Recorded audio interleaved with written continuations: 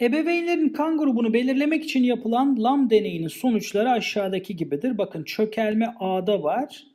B ve D'de yoksa anne A RH negatif. Burada ise bakın B ve D'de çökelme var. O zaman baba B RH pozitif.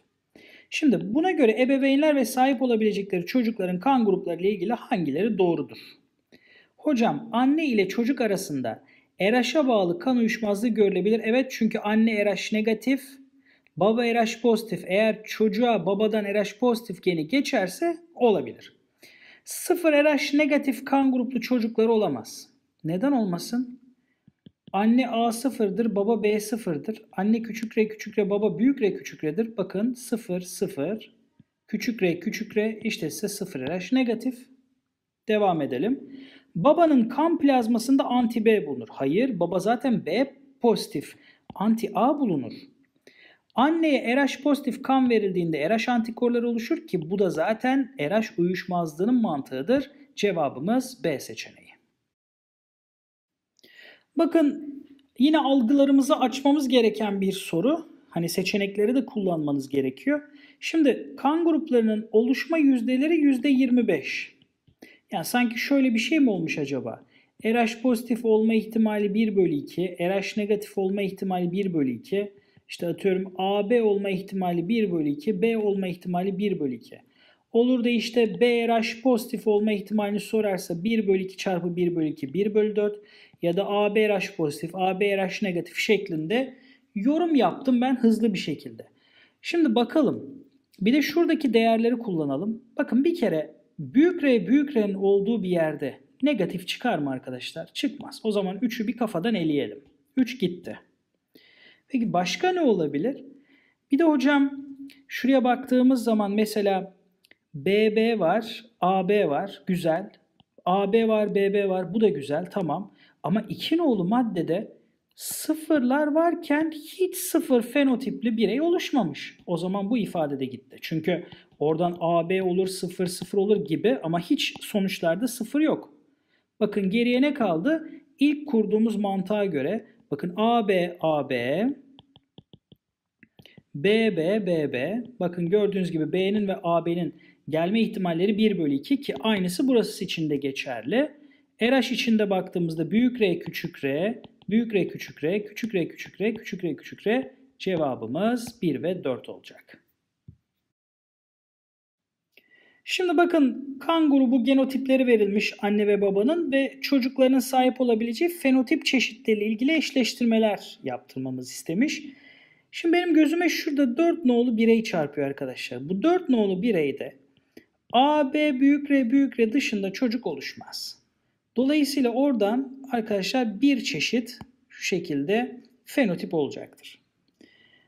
Peki hocam şu 7 de dikkatimi çekti. Hani bir şeyin çarpımı nasıl 7 olabilir? Bir kontrol edelim bakalım 3'ü. Çaprazladığımız zaman AB, B0, A0, 0, 0, büyük R, büyük R, büyük R, küçük R, büyük R, küçük R, küçük R, küçük R. Şimdi fenotipe baktığınız zaman ya AB'dir ya B'dir, ya A'dır ya sıfırdır. Yani 4 çeşit. Burada da ya pozitiftir ya negatiftir. 2 çeşit. Dolayısıyla 4 çarpı 2'den 8 fenotip çıkar. Bakın gitti. Aynısını ben 2 için de yapmak istiyorum. Bakın AA, AB, AB, BB. Bakın AA, AB, BB. 3 fenotip var. Büyük R, küçük R, büyük R, küçük R, küçük R, küçük R, küçük R, küçük R. Ya pozitifsin ya negatif. 3 çarpı 2'den 6. Yukarıya bakalım. AB, AB, B0. B0 bakın iki çeşit. Bir de büyük R küçük R'den başka bir şey gelmeyecek bir çeşit. 2 çarpı 1'den 2 çeşit. Cevabımız D seçeneği. Soy ağacında bir ailedeki bireylerin kan grubu fenotipleri verilmiş. Buna göre soy ağacında numaralandırılan bireylerden hangisinin genotipi aşağıdaki gibi olamaz? Şimdi sıfırlar bize yardımcı olacak. Çünkü burada 0 0 var bakın. Dolayısıyla 2B0 1A0 olmalı. Peki hocam devam edelim. Burada AB, B kan grubu, A kan grubu var. Şimdi bir şey soracağım. B kan gruplu bir annenin A kan gruplu bir çocuğu olması için orada bir sıfır olması lazım değil mi? Çünkü BB olsa A kan gruplu çocuk olamaz. Çünkü en az bir tane B vermek zorunda çocuğuna. Peki hocam A nasıl oldu peki? Burada B varsa o zaman demek ki 5 nolu birey oradan 0 gelmiş, babadan A gelmiş. Bakın böyle düşünebilirsiniz. Şimdi biraz seçenekleri kurcalayalım. Bir numaralı bireyin genotipi A0 büyük R küçük R. Şimdi zaten şuraya bakın. Küçük R küçük R değil mi? Negatif. Dolayısıyla küçük R'lerden biri buradan biri buradan gelecek. Ve bunlar pozitif bireylerse o zaman bu ifade doğru. 2 numaralı bireyin genotipi B0 büyük R küçük R onu da çıkartmış olduk. O da doğru. 3 numaralı bireyin genotipi B0 büyük R küçük R. Şimdi buna bakalım. Hocam negatifi var. Negatif var çocuklarda. Kendisi pozitif demek ki en az bir tane küçük R içermeli. Bu ifade de doğru. 4 numaralı bireyin genotipi büyük B büyük B büyük R büyük R. Şimdi bakalım arkadaşlar. Buradan B almış olabilir mi? Olabilir. Buradan B almış olabilir mi? Olabilir. Buradan büyük R almış olabilir mi? Evet. Buradan da almış olabilir. Evet. O zaman bu ifade de doğru. 5 numaralı bireyin genotipi AA'dır. İşte bakın bu yanlış. Neden yanlış hocam? Çünkü az önce ne dedik? Anne B0. Kendisi nasıl AA olsun? Cevabımız E seçeneği. Bir insanın A kan gruplu olduğu özelliklerinden hangilerine sahip olması ile kesinlik kazanır. Şimdi A kan gruplu bir bireysiniz. Ya AA'sınızdır ya A0'sınızdır. Doğru mu? Şimdi bir insanın al yuvarında B antijeni yoktur dediğinizde o kişiyi A kan grubu yapmazsınız arkadaşlar. Belki de o kişi 0-0'dır. O yüzden bu ifade kesinlik kazandırmaz. Bir gitti. Kan plazmasında anti-A bulundurması hiçbir şekilde A kan gruplu olmadığını gösterir. Çünkü anti-A A'ya saldıran bir antikor. Al yuvar zarında sadece A antijeni taşıması ise bir kanıttır arkadaşlar. Sadece A antijeni. Antijen biliyorsunuz ki kimlik olarak değerlendirebilir ve al yuvarın üzerinde taşınır antijenler, kan antijenleri cevabımız yalnız 3 olacak. Çok allellikle ilgili aşağıdaki açıklamalardan hangisi yanlıştır? Diploid canlı türünde genotip çeşidi sayısı daima fenotip çeşidi sayısına eşittir. Şimdi arkadaşlar bakın Diyelim ki sizin A, B, 0 sisteminiz var. Hani matematiksel olarak kanıtlaması kolay olan bir şey seçiyorum. Şimdi burada A, B, 0 sistemine göre 3 alleliniz varken 3 çarpı 4 bölü 2'den 6 çeşit genotip yazabilirsiniz. Ama fenotipiniz ya A kan grubudur ya B kan grubudur ya AB kan grubudur ya 0 kan grubudur. Bakın 4 çeşit fenotip yazdınız. Dolayısıyla buradaki daima eşittir ifadesi zaten kafadan yanlış. Bir karakterin kalıtımından sorumlu. İkiden daha fazla sayıda gen bulunması durumudur. Evet zaten tanımı bu. Biliyorsunuz ki Mendel bir karakterle ilgili hep iki tane gen bulunur demiş. İşte biri baskın biri çekiniktir tarzında ama şuna dikkat etmemiş. Bazı insanlar yeşil gözlü, bazıları mavi gözlü, bazıları ela gözlü, bazıları değişik tonlarda. Yine ten rengi, saç rengi, kürk rengi değil mi? Bunlar bunun kanıtı zaten. Fenotip çeşidi sayısının belirlenmesinde alellerin baskınlık çekiniklik durumu etkilidir. Evet. Ne demek istiyor hocam? Mesela diyelim ki elinizde AB0 gibi 3 alelli bir sistem var. Biliyorsunuz ki A eşit B büyük 0. Dolayısıyla burada A, B 0 bir de A, B beraberken bir fenotip oluşacağı için eşitlik durumunda artı 1 koyarsınız. Dolayısıyla bu 4 olur. Ama eğer bunlar birbirine baskın olsaydı arkadaşlar A, B, 0 3 tane fenotipiniz olurdu. Dolayısıyla baskınlık çekiniklik ilişkisi fenotip sayısı için önemli. Bakın n çarpı n artı 1 bölü 2 formülü ile genotip çeşidi sayısı hesaplanır ki zaten birinci maddede bunu kullandım. Haploid canlı türünde bir karakterin kalıtımından sorumlu kaç allel olursa olsun genotipte sadece bir gen bulunur. Sonuçta arkadaşlar n kromozomlu bir canlı. Bir karakterle ilgili kaç tane gen taşıyabilir? Bir tane tabii ki hocam. N kromozom haploid bir tane alel demektir her karakter için. Cevabımız A seçeneği. Şimdi soruda kan grubu genotipi verilen bireyler var. Bunlardan hangileri AB kan grubu olduğu kesindir demiş. Bakın kesinlik sorusu. O yüzden çok dikkatli olmamız lazım. Şurada bakın sıfır bize kopya verecek. Sıfırlardan bir tanesi buradan bir tanesi buradan geldiği için 4 nolu bireyin arkadaşlar AB olma ihtimali yok. Peki bu cepte. Peki 5 nolu birey AB olabilir mi hocam? Bak şimdi burası B kan grubu ama çocuğu var A kan grubu. Demek ki 4 nolu bireyde A sıfırlık var. Şimdi 5'e baktığınız zaman AB olabilir, A0 olabilir, B0 olabilir, 00 olabilir. Doğru mu? 5 biraz bağımsız ama soru kesinlik sorusu zaten elemiştik. Şimdi burada AA ve BB var. Bu B'lerden bir tanesi babadan gelecek, bir tanesi anneden. A için de aynı mantık. Biri anneden gelecek, birisi babadan gelecek. Dolayısıyla 1 ve 2 kesin AB arkadaşlar. 1 ve 2 kesin AB. Şimdi gelelim 3'e. Arkadaşlar 1 ve 2 nolu bireyin AA, AB, AB ve BB şeklinde çaprazlama sonucu var. Doğru mu? Şimdi diyelim ki AA olsa anne sıfırken hiç B kan gruplu çocuk doğar mı? Doğmaz. Peki BB olsa A kan gruplu çocuk doğar mı? Doğmaz. O zaman kesin 3 nolu bireyin de AB olması gerekiyor. Cevabımız D seçeneği. Anne ve babanın genotipi bilinmeyen bir ailede dünyaya gelen 4 çocuğun kan grubu verilmiş. Anne ve babanın kan grupları hangisi gibi olamaz? Şimdi arkadaşlar bakın.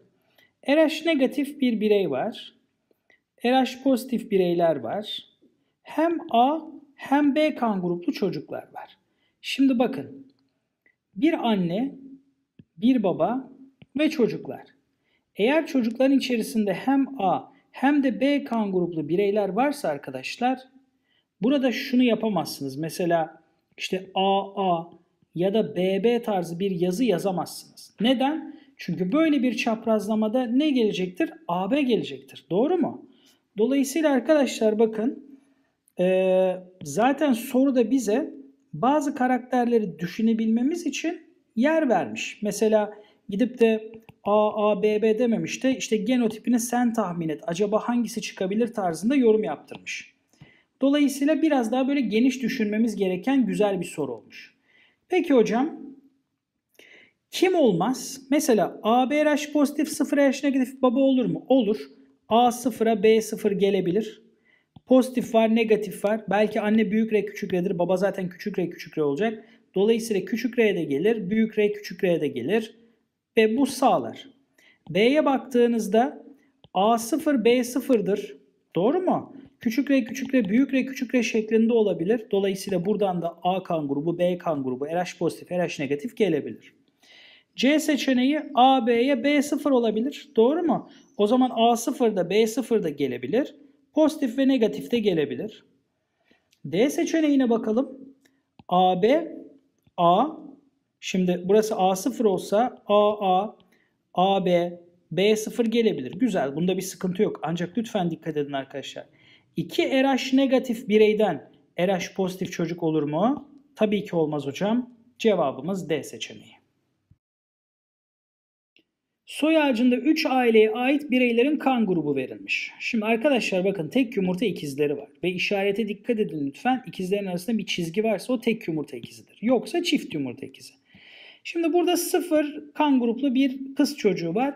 Bu sıfırlardan bir tanesini babasından bir tanesini annesinden almıştır. Hemen onu yazmamız lazım. Bakın 4 ile 3 tek yumurta ikizi ise o zaman şuraya bir A yazalım. Peki 2 ile de 1 tek yumurta ikizi ise 1'e de bir 0 yazalım. Şimdi de maddelere bakalım ne olacak. 1 ve 3 numaralı bireyler homozigot ARH pozitif. Şimdi arkadaşlar bir 1'e bakar mısınız? Homozigot AA olma ihtimali var mı? Yok hocam. 1 gitti. Peki. 2 ve 5 numaralı bireylerin al yuvar zarında B ve RH antijenleri bulunabilir. Şimdi 2'ye baktığınız zaman arkadaşlar annesinden B kan grubunu almış olabilir. Güzel. 2, 5 nolu bireye de B kan grubu verebilir. Çünkü zaten onlar bakın tek yumurta ikizi değil. O zaman bu ifade doğru. 1 numaralı birey 3 numaralı birey kan bağışında bulunamaz demiş. Bakın 3 numaralı birey A0. Belki de kendisi A sıfırdır hocam. Buradan A almıştır, buradan 0. Kardeşi de buradan A 0 olacaktır.